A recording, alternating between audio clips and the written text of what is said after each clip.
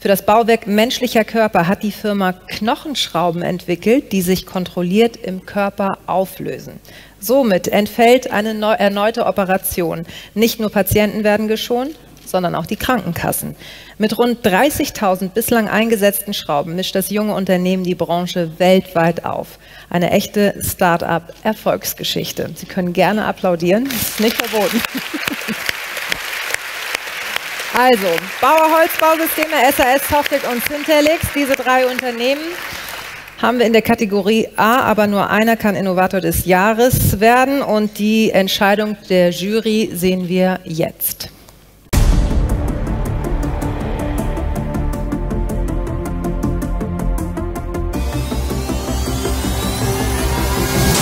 Der 2008 gegründete Medizintechnik-Pionier Syntelix aus Hannover erforscht, entwickelt und vertreibt bioabsorbierbare Implantate.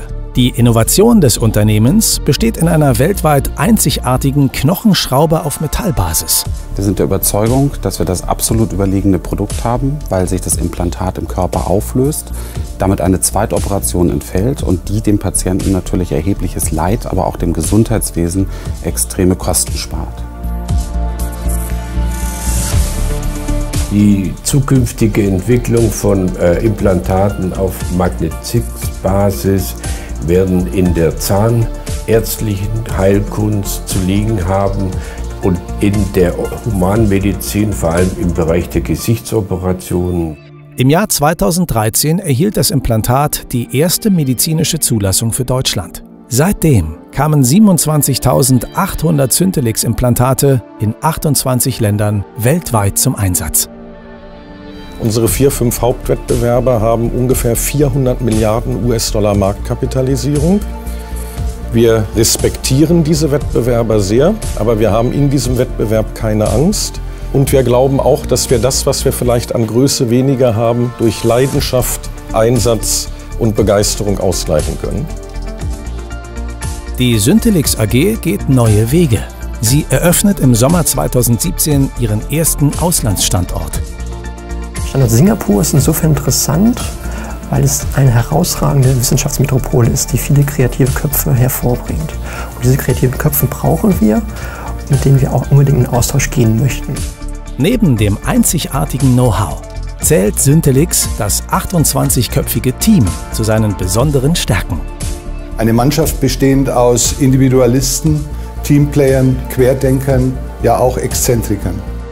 Diese Mannschaft ist in der Lage, das hohe Tempo, das wir weltweit vorlegen, unsere Technologie zu verbreiten, mitzugehen. Ja, diese Mannschaft hat sogar die Ambition, äh, dieses Tempo weiter zu steigern. Mittlerweile gibt es Chirurgen, die ausschließlich dieses Implantat einsetzen. Syntelix könnte noch einige Medizintechnik-Riesen zu Fall bringen. Diese Innovation hat Disruptionspotenzial auch im Weltmaßstab. Und sie ist nicht zufällig entstanden. Ich erwarte von Syntelix ein äußerst dynamisches Wachstum und hoffe, Sie bald als Teilnehmer in der nächsten Größenklasse bei Top 100 wiederzusehen.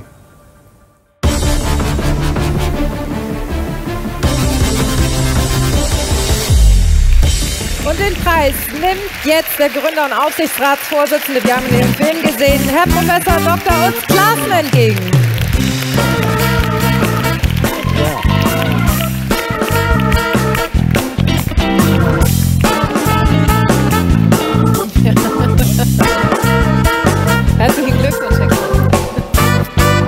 Zweimal. Glückwunsch. Hier. Herr Klaassen, bei so einer Erfindung wundert es Sie, dass Sie den Preis bekommen haben? Nein, wir haben ein sensationelles Team, das äh, unglaublich qualifiziert, motiviert, engagiert ist, unter der herausragenden Führung der Herrn Mayer und Professor Kirschner, die wir schon gesehen haben. Wir haben mit Herrn Professor Neubert als wissenschaftlichen Partner jemanden, der in seiner materialwissenschaftlichen Kompetenz weltweit wahrscheinlich einzigartig ist.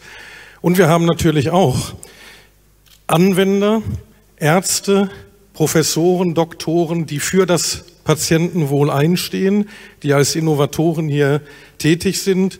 Menschen wie Herrn Dr. Klauser, der in Frankfurt, Potsdam, Berlin und München schon ganz, ganz viele Operationen durchgeführt hat. Und das Benefit, was wir hier für den Patienten haben, ist aufgrund der entfallenden Implantatentfernung, halbe Zeit, halbes Geld, halbes Leid, halbes Infektionsrisiko, halbes Anästhesierisiko. Also ich glaube, und übrigens auch halbe Kosten fürs Gesundheitssystem. Viel mehr geht nicht. Nee, das äh, würde ich so unterschreiben. Frau Buhlmann, Syntelix hat in verschiedenen Kategorien exzellent abgeschnitten. Eine davon ist die Kategorie Außenorientierung, Open Innovation. Was hebt Syntelix hier besonders hervor? Ja, genau dieses Team, was Herr Klasen beschrieben hatte. Ein Team, das sich zusammensetzt aus Menschen, die von außen gekommen sind und die teilweise immer nach außen tätig sind, aus der Forschung kommen, Herr Professor Neubert, ähm, die wirklich in einer ganz überzeugenden Art und Weise zusammengebracht worden sind. Und das spürt man, wenn man das Unternehmen besucht dass das wirklich ein Team ist, die wirklich sich gegenseitig auch die Ideen und die Bälle zuwerfen.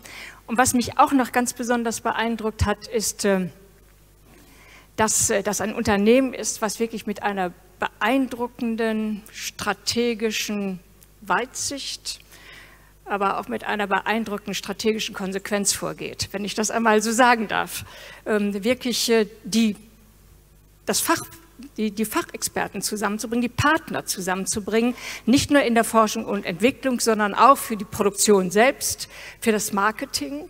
Ähm, in Deutschland beginnt, ähm, im Ausland sich den Standort auszusuchen, der nicht nur ja wirklich auch ganz wissenschaftlich exzellent ist, sondern dieser Standort ist auch der Gesundheitshub in Asien. Also auch da hat man gleich diese Vernetzung und den Zugang.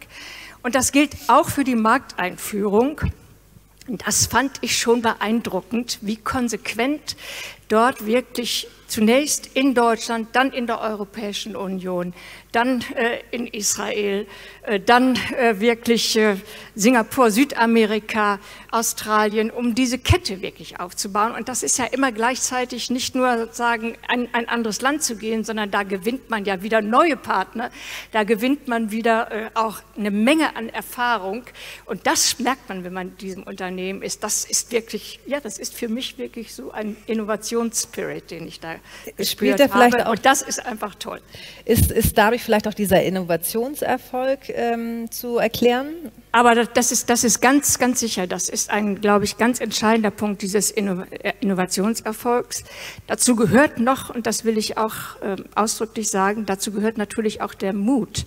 Ein Werkstoff, der eigentlich für die Medizintechnik bisher nicht eingesetzt wurde, wirklich hier zu nutzen, Werkstoff ist ursprünglich, äh, hat man an ganz andere Anwendungsgebiete gedacht. Ich kann mich da so an Zeit vor zwölf Jahren mal erinnern. Aber diesen da, dort einzusetzen, und das ist ja ein wirklich toller Werkstoff, der für diese Anwendung wirklich im Grunde genommen so viel Vorzüge hat, dass es schon äh, beeindruckend, überwältigend ist. Aber ich will noch mal ausdrücklich sagen, was mich wirklich, wirklich tatsächlich beeindruckt hat, ist, ähm, wie schnell wie konsequent wirklich genau diese Stärken genutzt worden sind, äh, wirklich systematisch, strategisch vorzugehen und immer wieder die Partner, die man neu hinzugewonnen hat, gleichzeitig auch für die Weiterentwicklung des Unternehmens nutzen. Und ich habe das Unternehmen vorher noch mal besucht, weil ich das immer gerne mache, dass ich dann auch noch mal selber einen Einblick äh, habe. Und was mich an dem Abend wirklich begeistert hat, und ich habe selber gemerkt, bei mir ist der Funke auch übergesprochen, dass äh, auch die Mitarbeiterinnen und Mitarbeiter, mit denen ich dort gesprochen habe, einfach sprühten auch äh, und gleichzeitig ja schon nicht nur nachdenken, sondern auch schon neue Anwendungsgebiete erschließen. Die Zahnmedizin ist genannt worden, die Tiermedizin ist genannt worden, ähm, dass sie gleichzeitig auch schon wieder überlegen, welche, wie können sie ihr Produktportfolio erweitern, weil es natürlich nicht nur wird nicht nur um Schrauben gehen können. Das kann man damit, mit diesem Werkstoff kann man viele andere mhm. wirklich auch in der Medizintechnik äh, verwendende und, und genutzte Teile herstellen. Und deshalb bin ich persönlich davon überzeugt, das wird ein Erfolg. Das wird ein Erfolg und äh, deshalb habe ich mich auch wahnsinnig gefreut, dass Sie den Preis gekriegt haben. Und das, das will ich jetzt auch noch mal sagen, alles aus meiner Universität zu einem hilflichen Teil kommt. Der rote Faden. Der Leibniz-Universität in Hannover, denn auch Werkstofftechnik in Klausthal-Zellfeld hat was damit zu tun, Herr Professor Neubert. Sie wissen das. Das freut mich natürlich ganz besonders. Also die Norddeutschen sind heute Abend richtig gut. Die sind sind auch nicht nur dröge, die sind kreativ und einfach ideenreich und klasse. Herr Franke, bevor, bevor wir Sie total vergessen, herzlichen Dank, Frau Buhlmann. Sie haben geschrieben, das Unternehmen könnte als Blaupause für einen Ratgeber How to Start a MedTech Startup herangezogen werden. Wie ist das gemeint? Mit der Blaupause war, war so gemeint, dass wir gerade in dem Bereich, die sehr stark technologiegetrieben sind, Gründungen, die jetzt aus der Hochtechnologie kommen, wo die technologische Komponente zunächst im Kern steht. Da beobachten wir häufig, dass es sehr schwer ist, auch die betriebswirtschaftlichen, die strategischen Strukturen mitzudenken. Es gibt auch einen großen Friedhof von tollen technologischen Erfindungen, die es nicht in den Markt geschafft haben oder die dann von anderen mhm. vermarktet wurden. Und beeindruckend ist hier, es hat schon angeklungen von der Frau Bullmann, wie hier die die wirtschaftliche Entwicklung nicht nachgezogen wird, auch nicht begleitet wird, sondern vorgedacht wird. Das heißt, hier wird sehr bewusst Wachstumsschritte, Zukunftsschritte bereits jetzt gedacht und geplant, die erst in den nächsten Jahren wirklich greifen werden oder aktiv werden. Und ähm, Stichworte Internationalisierung, Stichworte neue Geschäftsfelder, Veterinärmedizin, Stichwort ähm, die Produktfamilie erweitern, vom einen Produktunternehmen zum Produktportfolio übergehen.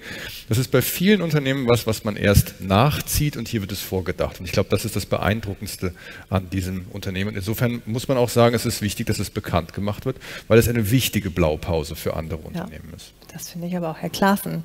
Genießen Sie es, genießen Sie die Auszeichnung, genießen Sie den Abend. Herzlichen Glückwunsch nochmal von uns.